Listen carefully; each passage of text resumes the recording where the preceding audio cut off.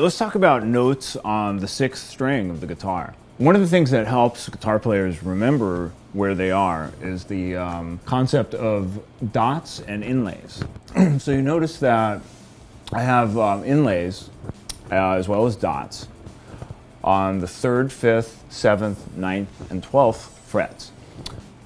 Each one of these corresponds to a whole note, except for the ninth. So let's ignore that for now. But if we just look at 3, 5, 7, and 12, uh, we have a G,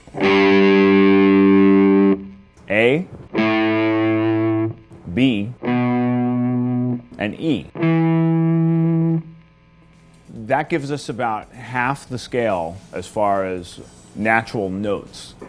What we're missing is D, which is on the 10th fret, C on the 8th fret, and F on the 1st fret.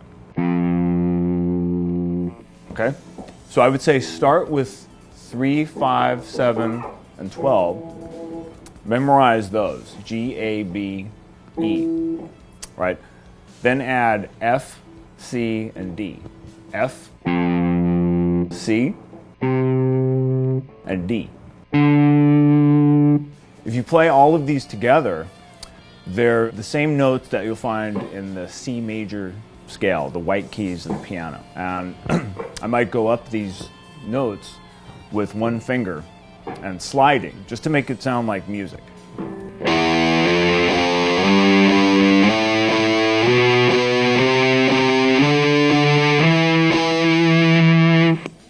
Descending.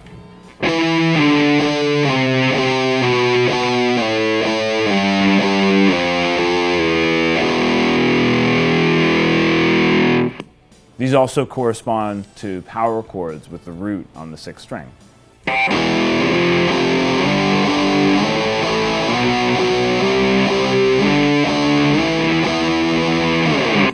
If you have those memorized, you've pretty much memorized most of the notes on the sixth string. All you're missing are the in-between notes. So um, in between F and G,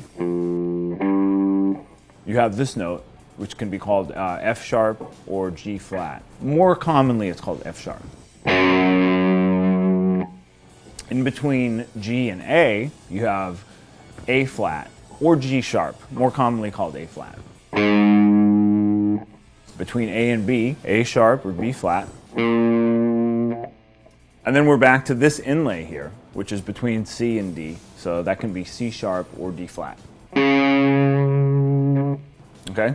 So once you've memorized all the natural notes, then you need to go through and uh, memorize the accidentals. Once you've got those, you should be able to memorize every note on the E string.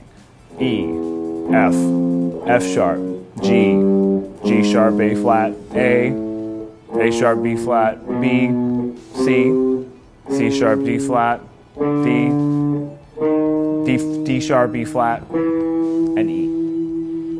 And those are the notes on the sixth string of the guitar.